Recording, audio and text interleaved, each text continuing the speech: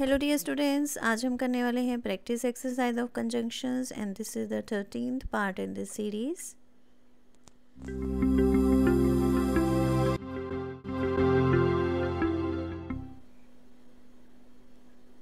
choose the correct sentence अभी आपके सामने दो सेंटेंसेस आएँगे जिनमें से कोई एक करेक्ट होगा और एक रॉन्ग होगा। तो चलिए देखते हैं first sentence I am ill because I cannot come to school I can not come to school because I am ill देखिए, अगर आप इन दोनों सेंटेंसेस को ध्यान से पढ़ेंगे तो आपको पता चलेगा कि फ़र्स्ट सेंटेंस का मीनिंग है, मैं बीमार हूँ क्योंकि मैं स्कूल नहीं आ सकता या नहीं आ सकती। और सेकंड सेंटेंस का मीनिंग है, मैं स्कूल नहीं आ सकता या नहीं आ सकती क्योंकि मैं बीमार हूँ। तो ऑब्वियसली जो इसमें सेकंड सेंटेंस है, उसकी सेंस बन रही है, इसलिए आप कहेंगे कि सेकंड सेंटेंस करेक्ट है। तो अब हम देखते हैं next if you work hard, you will not pass. Unless you work hard you will not pass देखिए फ़र्स्ट सेंटेंस का मीनिंग है कि अगर तुम मेहनत करते हो, तुम पास नहीं होंगे। और सेकेंड सेंटेंस का मीनिंग है कि अगर तुम मेहनत नहीं करते हो, तुम पास नहीं होंगे।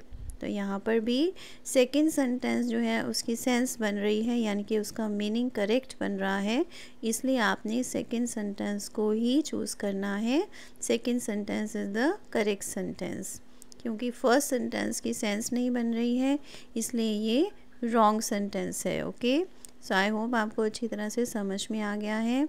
अनलेस यू वर्क हार्ड का मीनिंग है कि अगर आप मेहनत नहीं करते हो ओके okay? तो चलिए देखते हैं हम next pair of sentences he exercises daily so that he remains healthy वह डेली एक्सरसाइज करता है ताकि वह हेल्दी रहे. He exercises daily that he remains healthy he वह डेली एक्सरसाइज करता है कि वह हेल्दी रहे. तो इन दोनों सेंटेंसेस में थोड़ा सा माइनर डिफरेंस है. देखिए फ़र्स्ट सेंटेंस में सो so दैट लिखा गया है, लेकिन नेक्स्ट सेंटेंस में सिर्फ़ दैट लिखा गया है.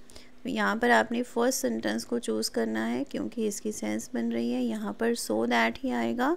सो so दैट को हम पर्पज़ के लिए यूज़ करते हैं। Okay okay? तो ये यहाँ पर करेक्ट कंजंक्शन जो है वो फ़र्स्ट सेंटेंस में यूज़ करी गई है। इसलिए आपने फ़र्स्ट सेंटेंस को ही चूज़ करना है। I hope this is clear to you अब हम देखेंगे next pair of sentences wait here unless I return इसका मीनिंग है अगर मैं वापस नहीं आ जाऊँ, यहाँ पर वेट करो। और नेक्स्ट सेंटेंस है wait here until I return यानी कि जब तक मैं वापस नहीं आ जाऊँ, तब तक यहाँ वेट करो।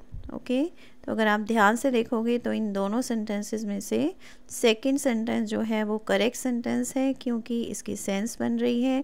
लेकिन फ़र्स्ट सेंटेंस की सेंस नहीं बन रही है, ये एक मीनिंगफुल सेंटेंस नहीं है, इसीलिए ये रॉन्ग है ओके यहाँ पर सेकेंड सेंटेंस जो है वो करेक्ट आंसर है। So I hope this is clear to you Thanks for watching. Keep learning. See you in the next video. Please subscribe to my channel if you haven't done it yet.